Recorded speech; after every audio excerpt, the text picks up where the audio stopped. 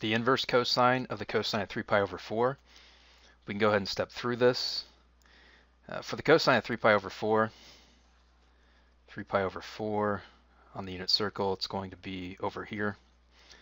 So for the x component, negative 1, r is going to be root 2.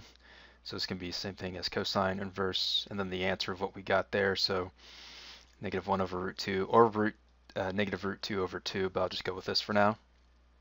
So what this means is like the same thing as doing cosine of x, um, excuse me, uh, cosine of this is equal to x, and then we can just go ahead and get rid of the inverse, and we get cosine of x is equal to negative 1 over root 2. Well, what does x have to equal in order for you to get uh, negative 1 over root 2? Has to be equal to 3 pi over 4. So the final solution, it just spits back out exactly what it had, is just 3 pi over 4.